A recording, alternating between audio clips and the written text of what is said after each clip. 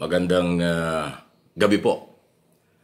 Muli, dalawa yung ating pag-usapan. Itong uh, una ay ito pong uh, uh, plano at mungkahe ni uh, Congressman Mike Defensor na mas palakasin ang vaccination sa magitan ng uh, mobile. Ibig sabihin, magbara-barangay ang mga kinaukulan para mabakuna ang ating mga mamamayan. Pangalawa, ito hong uh, issue ng, alam nyo, ito hong problema sa COVID, talagang lagi dinudugtong sa politika at laging sinisilip yung ibang kandidato kumpara sa galaw ng iba. Ang tinutukoy ko po rito yung laging pinapalabas ng kampo ni Moreno na magaling si Mayor. Mabilis umaksyon kumpara doon sa ibang kandidato tulad ni Pacquiao, Robredo, Lacson at Marcos. Yun ho yung kanyang laging sinasabi. Pinapalabas na siya yung magaling at siya yung pinakamasipag. Pero ipapaliwanag ko sa inyo kung bakit kailangan niyang gawin at mali kung bakit naman siya nagsasalita ng ganyan. Yung kanyang kampo.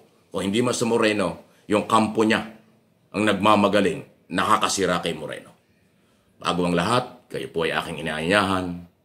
Mag-subscribe dito po sa channel na ito, Mike Abe Opinions click ang notification bell at pakishare po ninyo sa ating mga kababayan dito at sa abroad para humalaman nila ang mga bagong impormasyon dito sa Pilipinas. At yan naman ang ating binabantayan. Hindi ba? Well, tulad ng uh, binanggit ko, si Congressman Mike Defensor na kumakandidatong pagiging mayor ng Quezon City under BBM Sara Tandem, gusto niya ay ang diskarte ay uh, dali na sa barabarangay o kalye. Mobile vaccination. Ibig sabihin, hindi na kailangan ng tao ang punta pa sa kung saan lugar may vaccination. Dapat ang gobyerno na ang lumapit sa mamagitan ng lokal na pamahalaan. Yung massive mobile vaccination sa barangay, sa purok, kalye. Mas mabilis. At ako sang-ayon ako dun. Itong idea ito po ni Congressman Mike Defensor ay napakaganda siguradong mapapabilis ang vaccination. Sa ngayon ho, talaga napakabagal eh. Kasi nga, mayroong online registration. Okay, bago makapag-registro, ang tagal-tagal. Bago magkaroon ng bakante, ang tagal-tagal. Kaya dumadami ang bakuna, ang dami ng walang bakuna. Especially yung uh, booster shot o pangatlong bakuna. Yan ho talaga yung problema. Kaya salamat, Congressman Mike Defensor. Itong idea mong ito, hindi lang sana sa Quezon City. Sana gawin din ito ng iba pang mga local executive not only here in Metro Manila, kung hindi sa mga lalawigan. Okay? Pwede po kayo mag-comment, react uh, dyan sa isong yan. Pangalawa, ito nga po ang ating pag-usapan, itong laging ipinagmamalaki ng kampo ni Mayor Isko na siya magaling. Nakakatawa naman. Oh. Lahat naman magaling eh. Wala namang hindi magaling. Alam nyo, ang kampanya laban sa COVID, especially ang vaccination, gamot, hospital at iba pang tulong na libre, Trabaho ng local yan. Mayor, trabaho mo yan. Hindi yan trabaho ng senador. Hindi yan trabaho ng vice president. Hindi yan trabaho ni Bongbong Marcos dahil wala naman si Bongbong Marcos sa gobyerno. Ikaw ang ama ng Maynila, trabaho mo yan. May pera ang gobyerno para gawin yan. Kaya huwag hug ipagyabang ng mga tao mo na ikaw ay masipag at ikaw lang yung gumagalaw. Ay obligasyon mo yan eh. Dahil ikaw yung city mayor. Inuulit ko dun sa kampo ni Mayor Isko, kung hindi nyo alam, hindi ko alam kung bakit hindi nyo alam, local executive ang mag implement laban sa COVID. At ano ang proteksyon? Ano ito? Vaccination. Pagpapagawa ng ospital, pagbibigay ng gamot, pag, pag, uh, pag-test, at kung ano mang kailangan, ano mang sakit, hindi lang COVID. Trabaho ng mayor yan. Eh bakit nyo hahanapan yung mga national candidate na kasamahan nyo?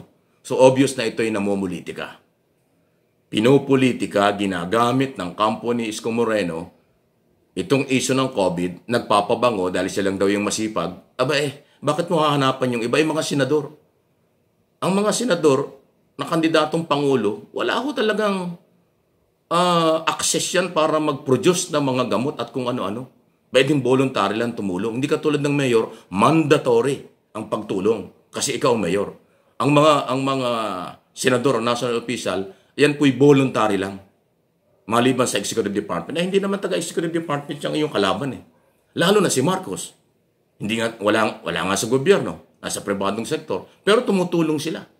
Tumutulong si Marcos, si Lacson, si Robredo at Pacquiao sa kanilang kakayanan. Hindi ikaw lang, Mayor Isko. Sumusobra naman yung mga pakulo ng tao mo. Kaya this time, kaya ako po nasilip itong isyong ito. Yung inyong pagmamagaling na yan, again, lalong makakasiya, makakasira kay Isko. Mayor Isko, kung hindi mo alam itong ginagawa ng mga tao mo, ikaw ang nasisira dito, kawawa ka. Masyadong nagmamagaling sila eh. Masyado kang binubuhat eh. Inuulit ko, mandatory na galawan ng mayor ang isalba ang buhay ng kanyang mga mamayan dahil ikaw ang mayor. Ang kalaban mo sa national position ng mga senador at isang sibilyan, wala silang obligasyon. Sila ay nagbo-volunteer lang. Nasa batas yun. Hindi sila obligang mag-produce ng gamot at uh, ng baksin para bigyan ang mga tao. Dahil sila ay mambabatas, tagagawa ng batas. Iba yung legislator kaysa sa local executive. Hindi ba nyo alam yon? Kakahiya naman, di ba? Eh ito si Bongbong Marcos, wala nga sa gobyerno, tumutulong eh. Oh, nakita nyo? Yan ang sinasabi natin. Gumagawa kayo ng paraan para iangat nyo ang pangalan ni Isko, pero pag sinilip at nasilip ng channel na ito, at atin naman sinasabi ang totoo, palpak eh. Nagbubuhat kayo ng sariling bangko eh, hindi naman hol, wala sa lugar ang pagbubuhat. Ulitin ko ulit, mandatory ng mayor na siya ang gumawa kung paano isalba ang buhay ng tao sa anumang klaseng sakit. Huwag niyong ipagmalaki na inyong ginawa ay ganito, ganon. Kasi trabaho niyo yan bilang ama ng syudad o ng bayan. Ganon po yun. Kahit sinong local executive, Sasabihan ko ng ganito kasi yan ang trabaho nila. Nasa local government code ang kanilang ang batas, ang kanilang malaking responsibilidad sa bayan. Kaya huwag niyong ikumpara ang galawan ng inyong mayor kumpara doon sa ibang presidential candidate. Kasi mga legislator sila. Yung isa nga, civilian pa eh. Nasa pribadong sektor eh. Bakit naman makikipagsabayan sa'yo? Gumagawa sila ng tulong, inuulit ko. Si Marcos, Lacso, Robredo at Pacquiao, meron din sarili silang galaw. Hayaan mo lang yon. Huwag niyo silipin na kayo magaling silang mahina. Mali as in mali ang inyong mga galawan. Nasa inyo rin naman eh, kaya nasa silip yung inyong mga pahayag eh. Masyado kayo nagmamagaling. Sa panahong ito, hindi kailangan ng magmag- mag- magmagaling. Kailangan ay eh, magtulungan. Huwag, ka, huwag, uh, huwag pa iralin ang pagbubuhat ng sariling bangko. Kasi may crisis tayo. May COVID-19. Napakatindi. Hindi naman yung lahat na lang galaw ng mayor ninyo ay bubuhating kaagad, ipagyayabang at ipagmamalaki. Hindi nyo sinilip na yan ay obligasyon niya. Ayan, nalikturan ko kayo tuloy. Pasensya na po. Ha? Hindi maganda yung ginagawa nyo eh. At hindi naman kayo makakalampas dito sa channel na ito. Hindi naman tayo nagyayabang. Gising tayo sa katotohanan kung ano ang mga nangyari. Kaya maging maingat po. Huwag natin linlangin ang mga tao Nasabihin pa nyo, fake ang mga survey. Kayo ang number one. Eh, di ba alin, pagpropaganda yan. O, isa pa yan. Huwag kayo nagbubuhat ng sariling bangko. Sa, sa politika, pag nagbubuhat ng sariling bangko, talo sa eleksyon. Maniwala kayo. Hanggang dyan muna po ang ating pag-uusap ngayong gabi. Marami pong salamat. God bless.